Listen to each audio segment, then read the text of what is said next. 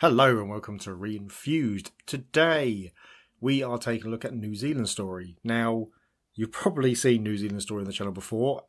Yes, it's a very big favourite game of mine and it's been on a lot of platforms and it tends to be a very good game on all those platforms. And so I have covered it more than once. And certainly I've covered it on the FM Towns Marty, which is a very good conversion. Now, this is kind of surprisingly not that great. Well, no, that's unfair. It's still a great game, and it plays really well. All the important stuff there, but it's quite cut back compared to. And let's just get into it. That's probably the best way. So anyway, let's start this off. Now, if you've never played New Zealand Story, first of all, you should definitely pick it up because it's a, it's a genuinely just fun game. And so this is effectively what I picked up a laser gun. This is effectively the game. So that's you. That's your uh, your Kiwi, and the idea is that your friends have been kidnapped. Now, in other versions, going to the things that have been cut back, there's a little animation at the beginning which shows all your friends being kidnapped by uh, Walrus. Walrus is being the bad guys in this game. Uh, we don't get that in this version, which is a shame. So yeah, the idea is oh bomb. I got bombs now. I should have kept the laser. So here's your friends, and the idea is you go for each level and you rescue a friend and then that gets you to the next level. There's actually a level skip in, in that screen, but I didn't use it because I'd like to sort of get somewhere in this screen and yeah, well, you know, otherwise I'm just going to die and we won't get anywhere. Now, some of the ooh, uh, they do fire at you, and some of the enemies are quite intelligent and will jump up platforms and stuff to get to you. So it's uh, yeah, it's it's nice, and there's you know it, this is a it's a good version of the game. It's uh, there's Go up, don't you? There's uh, it's just colourful, which this game is. This game is really colourful on every. Oh, that wasn't good. This game is colourful on every platform it's on. Oops. So, um, oh, hello, let's give me another balloon.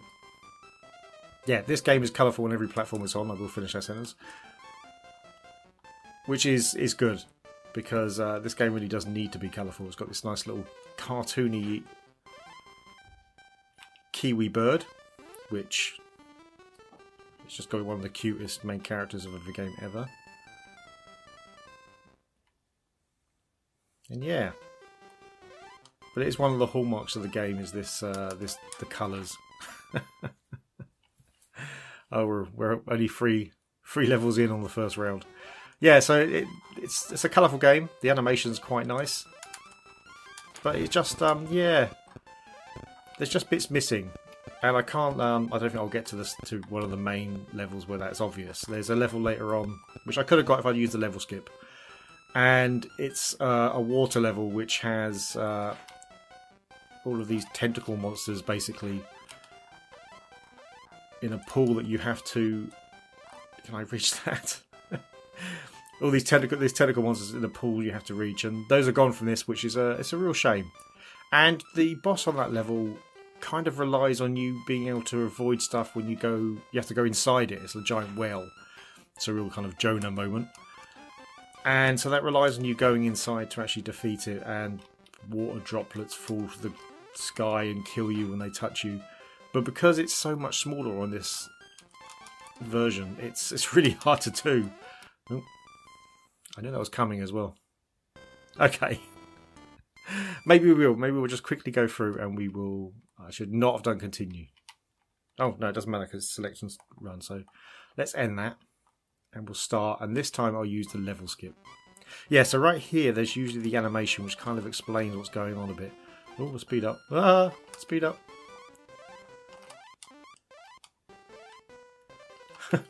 I mean, that looks like it's been written. Well, yeah, let's just say not pen.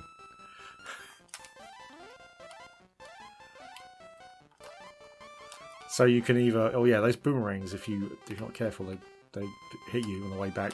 So yeah, if you see if we fire, then the bullets kind of stop in midair, and that's because that's there. So we can dive into that, and that then knocks us to round four. So this is it. So in other versions, basically, there's little tentacle monsters in here which make this bit a lot harder. Whereas for me, I can just kind of walk along like this, and I'm not in that much danger of my air fort running out.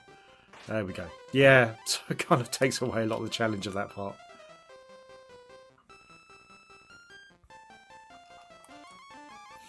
This is uh, there's lots of um, as well as your character being colourful. There's lots and lots of uh, colourful bad guys as well. Right, so we won't get to get this one because that will disappear. And this is the the boss character I was talking about. It's a frozen whale. So certainly inventive. Uh, and you attack him a bit here, avoiding his snowflakes. That's not hard because they never seem to come any closer. And then he'll eat you, and then you have to keep firing at him while these blocks. But because it's so close, it's so small. Oh, I did it. That's. but because it's, it's, such a small area, it's really hard to avoid them. That's the uh, the best I've done on that one since I started trying to play this a bit earlier. I'm surprised I didn't die there. That's the other thing about this. You you don't really seem to get to die that easily when they touch you, which is odd. In other versions, as soon as you're even slightly touched by them, that's it. You're uh, you're you're over. So that's odd. Oh, bats dropped their poop on me. I'm assuming it's poop. Well, the music is really it's the same tune again and again but but you know what it's a great tune i don't care it's one of my favorite tunes in music it's so upbeat it's like i reckon if um if a band uh, had to be attributed to a game they might be giants would would be this this game it just uh the tune kind of the, the, the happiness of it just reminds me of um birdhouse in your soul. Jump. Okay, we're through. Oh, it's it's a bit of a non-stopper this game as well. Uh, up you go. There's just always seems to be something going on the screens, and a lot of bad guys around, which I am guessing is is the reason why there's um. Oh, the reason why a lot of stuff's cut out because there is a lot going on. Right, there you are, New Zealand story on the PC Engine. It's not the best version. There are quite a few other versions that are better. I think the Mega Drive version is better. The FM Towns version is pretty much an exact and perfect port of the arcade machine. It's very much well, well worth playing. But you know what? It's a fun game no matter what. It's always a good time. And this is definitely playable. The animation's lovely. The colours are lovely. Yeah, it's just genuinely worth genuinely, genuinely worth playing and picking up. You know what? Whatever, if you've got a platform that there's a version of this out for, and it's it is on a lot of platforms, pick it up if you haven't played it. It's a very good game. Right? Thanks for watching. If you enjoyed the video, please hit like. If you really enjoyed the video, please hit subscribe. If you didn't enjoy the video, then leave a comment below telling us what you think. See you next time.